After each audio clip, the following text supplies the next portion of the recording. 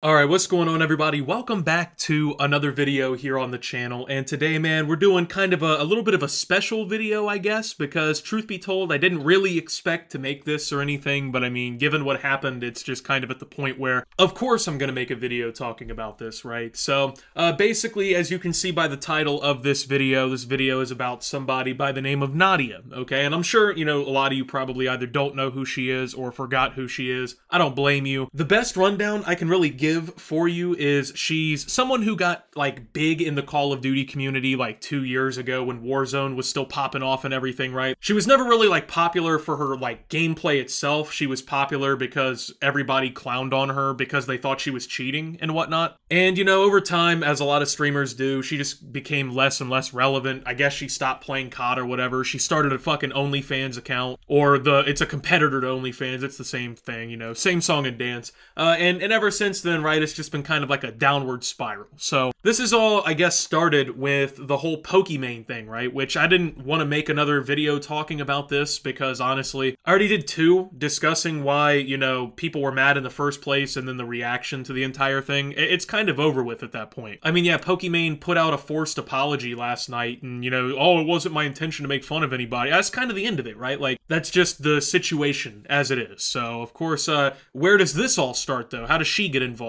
with the whole Pokimane thing? Well, it starts with a tweet that I can only say is this is like the only thing people can use to defend in this situation, right? Nobody can actually address any of the real arguments at hand. No one can actually address any of the real points that anyone's made about why this cookie situation was even something to talk about. It's just a well, what about this kind of situation, right? Where, you know, distract away from why everybody's talking about this. So, you guys have people like Neon, Jack, Sneako who average thousands of viewers and do nothing but spread negativity and harass people in public, but when a girl sells cookies, that's when y'all want to speak out. The immense hatred towards women on the internet is unhinged. All right, so uh, before we even go any further, I I will agree with her, I guess, on that last sentence. Okay, the immense hatred towards women on the internet is unhinged. Because truth be told, there are some situations where female creators and streamers or whatever can just get the shit end of the stick from people just because they're a girl or whatever, right? Like that definitely happens to a certain extent. This is not one of those instances, though, right? Like people had a very legitimate concern with this, and people were, I feel like, making pretty valid criticisms that didn't revolve around her being a woman. But of course, to people like this, you know, you can't actually address the substance of the argument. You can't actually talk about, you know, what people are even talking about because then you realize that you look like a fucking idiot. So, I mean, uh, this is where it all started. Right? This was a controversial tweet in and of itself because it's stupid. I mean, let's just call it for what it is here, right? So, it all kind of starts, I guess, my involvement in it with this. Why are you hiding replies that aren't even being hateful towards you or anyone else? Is it because you're afraid that they're right? And uh, basically, I was just pointing out that under this tweet she made, uh, there was a bunch of hidden replies. Now, of course, some of them were, I guess, like what you would consider toxic trolls or whatever, you know, like, oh, go screw yourself, stupid bitch, get back in the kitchen, right? You know, I can understand not wanting to see that or whatever, or just being like, yeah, these people don't, you know, need to be there. But I just screenshotted like three perfect examples of people not being sexist, not being hateful, just, you know, bringing up like a counterpoint. And she hid these replies from being viewed because they were critical of her viewpoint and they actually made sense. So, you know, pretty simple, okay? And then I also had another tweet. This one was retweeted back toward my audience, right? And it's because if there's one thing I dislike in the content creator community, it's these people who are complete fucking hypocrites and they don't actually stand on anything, right? And that's like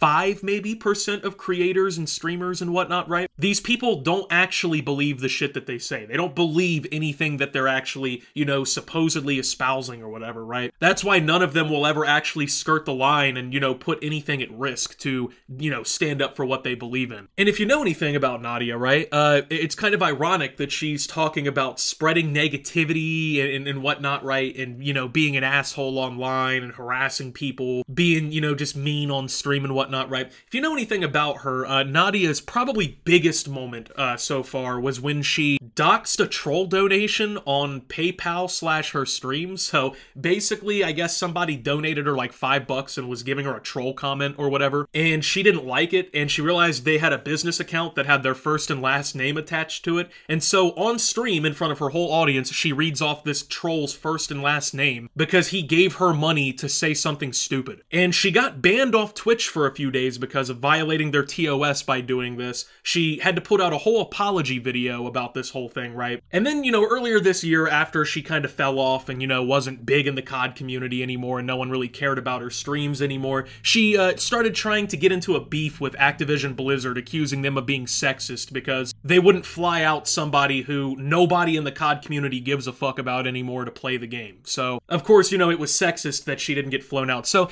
she is literally like the epitome of online negativity, right? Like when it comes down to it all here. I can't really think of anything more negative than like doxing somebody for trolling you by giving you money. You know, I, I don't know. But was my tweet maybe a little harsh? I guess you could say so, right? I, I don't know. Uh, to me, I don't really think it's that big of a deal. I mean, it's just kind of the truth, you know? It's just kind of factual information. If that hurts your feelings, I don't really know what to tell you. But uh, she then starts responding, and it's kind of funny because she immediately just fucking right out the gate just throws it all down the drain. So saying someone's first and last name isn't doxing. It's public information within the terms and conditions of PayPal. If the user didn't want to share it, should have made a business account. Crazy to see harassment being protected over that one being harassed due to anonymity. All right, so apparently harassment is when somebody gives you like a $5 donation and says something like, oh, go back to the kitchen, or you're a fucking cheater, or something stupid, right? That is harassment to these people it's incredible, right? Because at the same time that these people argue that women face like just this horrific shit in the industry, right? You know,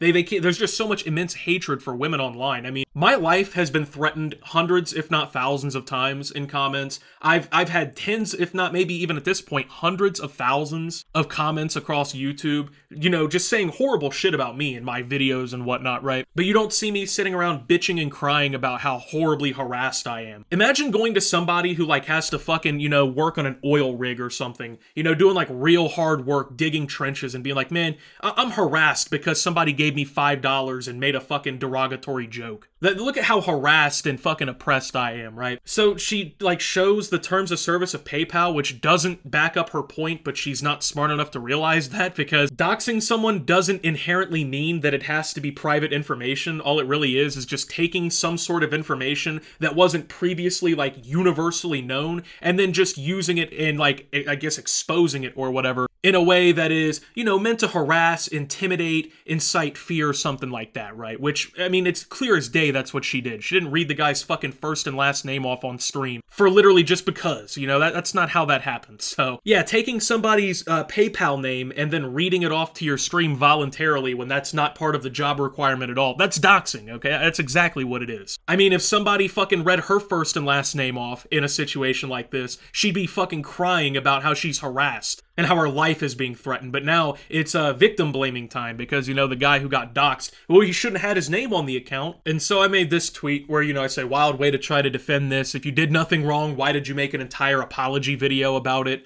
Uh, you just openly admitted that your apology was complete bullshit. Nothing about you's legitimate. You don't actually have any real opinion. Nothing you say should be taken seriously. You're begging for impressions because that's all you can do. And I, I think that this kind of set her off a little bit. I think this one really kind of got under her skin in a pretty more serious way, right? Because then she makes a pretty big mistake, right? She starts admitting, you know, things like, oh, the apology's old or whatever, right? Your PR team's on my ass. Uh, your response is just this old apology video. You're dismissing my point. You're, you're, you're, dur, dur, dur. Okay, so eh, apparently this is too hard for people to comprehend, right? Like this is just like fucking I don't know astrophysics, okay? If you did nothing wrong and you feel like you were like justified because this guy's name was on his PayPal account or whatever, then why did you make an apology video? Okay? The, the only logical, rational explanation for why you would make an apology video and still think that you weren't in the wrong is because you were trying to pander to people. You wanted people to think you were sorry. You wanted people to think that you really, you know, oh, I, I didn't mean to do this. It was a moment of weakness or whatever, right? That way, people would stop shitting on you That way, Twitch would unban you for violating their terms of service. That way, your reputation could be scraped back up off the fucking floor, okay? Now, if she had just openly admitted this and said this, I think that might have just been kind of based, right? Like it would have it looked a lot better for her. I will say that. But of course, you know, instead of just openly admitting it, she continues to try and, you know, press this argument she can't win because she lost it within her first tweet. So, so I basically just cook her on that point, right? Like what I just told you uh, here in this whole thing. And it, you'll notice in her tweets, uh, sometimes she keeps calling me big boy, okay? I, I don't know what that's about. I don't know what her fucking obsession is with calling men critiquing her big boy. I don't know if that's like some sort of like psychological, my father wasn't in my life, like Oedipus complex kind of thing going on there, right? I don't know what that is, but it's kind of weird. Like she apparently thinks I'm fucking part of OutKast or I, like I'm some sort of burger chain or something. I really don't know what the fuck's going on here, but obviously she can't address that point, right? She can't address saying that because then it makes her look stupid. So, and then she makes the biggest slip up she could have possibly made here, right? She admits that her PR team made her make the apology video. So, it turns out that when, you know, she apologized for the biggest controversy of her career that got her banned off Twitch for several days, dragged her reputation through the mud, you know what I mean, made her look like a fucking asshole. The whole apology for that was false. It was fake. And it was generated essentially by her PR team. She didn't actually feel like she did anything wrong. She wasn't actually sorry. She just lied to everybody because, of course, that's the only thing she could do. How else should, like, how else can you pander for money, you know? Like, I mean, if you continue to act like, oh, you know, I, I'm based for this, I didn't do anything wrong, you still look like a shithead, right? So, of course, you know, you gotta have your PR team come cook for you. So, this right here proves my whole point in the first place, right? Like, people like this who are inauthentic, have no real opinion, don't know what the fuck they're talking about, probably shouldn't be giving their opinions on things. They love to do so and then when you give them even the slightest amount of pushback, they fall the fuck apart. Because everything about people like Nadia is just fake. There's no real personality, there's no real person there. It's a fucking con. it's like a convoluted mess of a PR team, someone trying to play a character and failing to do so, and whoever else is in her ear telling her that this is cool. This is not a creator you're watching. This is a fucking, you know, a very complex display, essentially, is what this is. So and then she kept hinging really hard on this like terms and conditions point on PayPal where it's like, "Oh,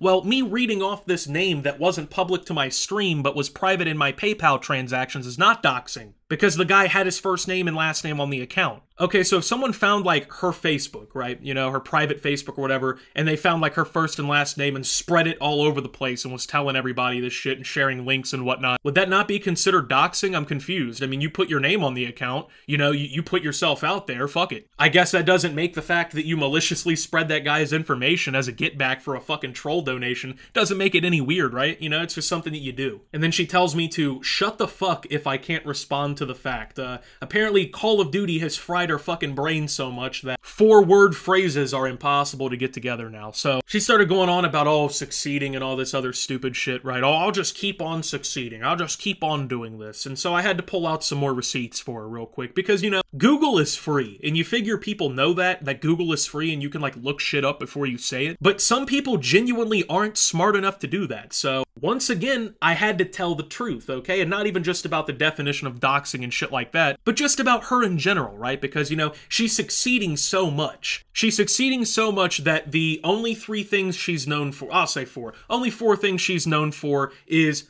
being made fun of for being a woman, uh, being accused of cheating in a video game two years ago, crying because the company wouldn't give her free flights and shit, because she doesn't play the game anymore and who failed at what she was doing and resorted to fucking OnlyFans, right? So I mean, let's not, you know, go into the the in and outs about success here, right? Because it's definitely subjective. She then I guess like looked up on Google if doxing is doxing if the info is public uh, or like illegal. I don't know. I don't even know what she actually searched, but as you can see, it doesn't do anything to benefit her point because it says is it doxing if the info is public? I'm assuming that's what she looked up, right? And then the paraphrased info says the answer is usually no. Doxing tends not to be illegal if the information exposed lies within public domain and it was obtained using legal methods. That said, depending on your jurisdiction, doxing may fall foul of laws designed to fight stalking, harassment, and threats. Okay, so she looks up if the info is public, if it's doxing, gets an answer about whether or not doxing is illegal, and then paraphrases that as her response, even though it doesn't even fucking talk any about anything she said, right? And she's so stupid that she confidently posted that, okay? Those two to three sentences were too fucking much for her to read. Keep in mind, we were never talking about whether or not doxing was illegal. We were talking about whether or not her spreading someone's first and last name maliciously from a PayPal donation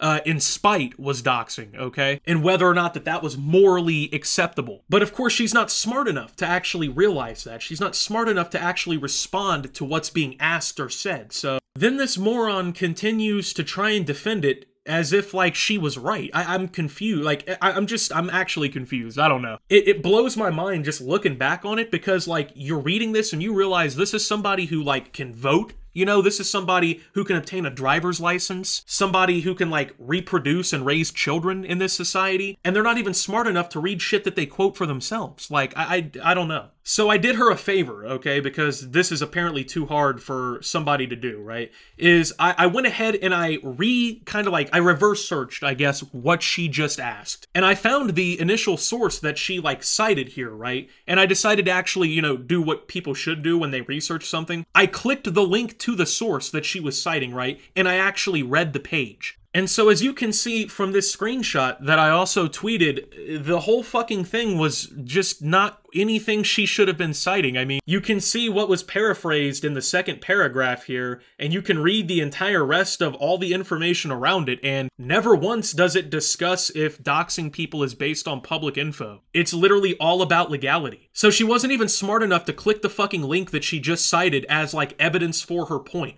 The the thing she quoted was actually proof in my favor, okay? It, it actually helped my argument. So, of course, now that she realizes this and she's been ratioed and fucking cooked on every single tweet that she put out, despite having three times the amount of followers I have and playing the oh, I'm a poor female getting harassed fucking card, right? She decided to start deleting all of the tweets that made her look like a complete moron, okay? That's pretty interesting because she was so confident the entire time how right she was, you know? She was calling me, you know, shut the fuck up, you know? She called me a nerd at one point and whatnot, and uh, just like, just goofy, like lame shit, right? Just trying to like do whatever she could to like make make this go for her, right? And it just never worked because she was wrong from the jump and she wasn't smart enough to realize that she was arguing with somebody. It, it wasn't really a fair matchup from the beginning, right? But then she resorts to, I guess, the only card that anyone who ever can critique me uh, has to go to. She says, be live soon, drops a link to this re upload of like a four year old cringy, shitty video I made. She ats me in it as if, like, you know, I'm supposed to be shaking in my fucking boots. That this video that's been public for fucking years and that's a re upload of all the other re uploads and whatnot of it that I've never done anything about, right? Like I was supposed to be quaking in my boots or something. And keep in mind, the only reason that this is now brought up is because she lost the argument and she looked like a complete fucking moron, you know? She, she, she couldn't actually argue what was going on and she actually lost when she tried to do that, and to the point where she was getting destroyed in her own comments and everything. And so this is, you know, the road we got to go down here now because, you know, you can't actually win the argument against me. This is your last Hail Mary, like last ditch effort or whatever to try and get to gotcha on you, right? And it didn't even work out well for her because, like, when I retweeted this and was like, LOL, this is a last ditch effort. This video is a perfect representation of everyone who pays your OnlyFans bill. You were crying earlier about pulling up old apology videos and now you're pulling up a video that's five times as old as yours because you lost the argument, you look like a fucking goofball. Then all of a sudden she started deleting this tweet and then tried to keep like rephrasing it and rewriting it and whatnot so that her audience of cringy simps and whatnot would like, I guess, hype her up and back her up. But funny enough, even though this like Hail Mary effort she tried, you know, got thrown up in the air,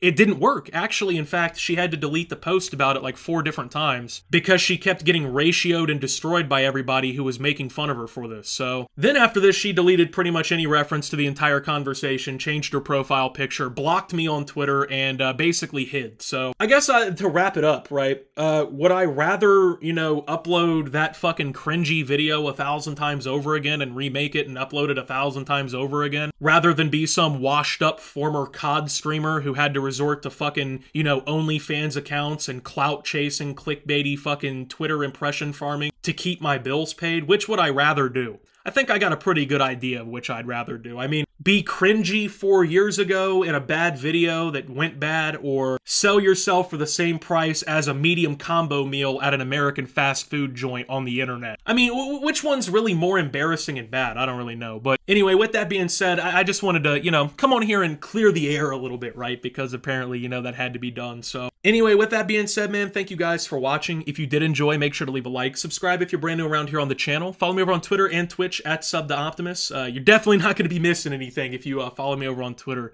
Uh, but uh, if you are a new follower, I will remind you, do not turn on your notifications on Twitter. Not a good idea. So uh, with that also being said, uh, make sure to check out Shoptimus down below. Thank you to my Watch Optimus subscribers. Your support helps the channel tremendously. And until my next video, guys, this is Optimus. Well, buying Nadia's OnlyFans and signing out.